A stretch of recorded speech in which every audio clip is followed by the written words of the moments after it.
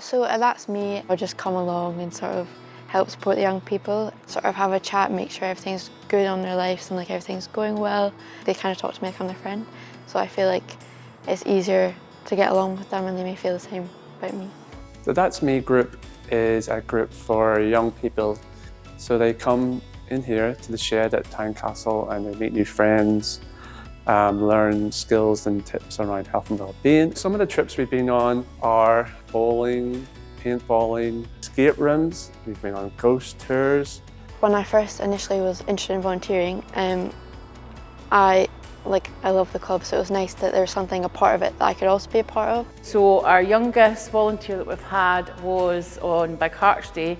Um, she was five, and our oldest 73, maybe 74. And these volunteers get a lot out of it, and um, they've, they've all made like a lot of good friends, eh? and it's, it's really, really nice. So Milly as a volunteer has been fantastic since day one.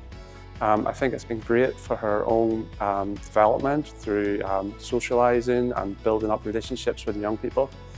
She just hit it off with the kids as soon as she came in.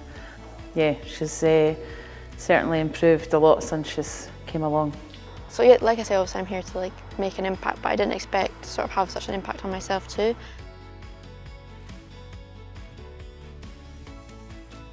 When I found Milly was up for the award, I was delighted and very well deserved. She deserves everything she gets.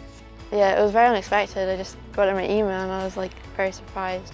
Um, and it was a great thing to tell my family. So obviously I don't do it to be rewarded for it, but it's nice to see the, like the efforts that I've put in have kind of been seen and that it's like noticed. So just sort of knowing that I'm going in the right direction and that people are happy with what I'm doing here.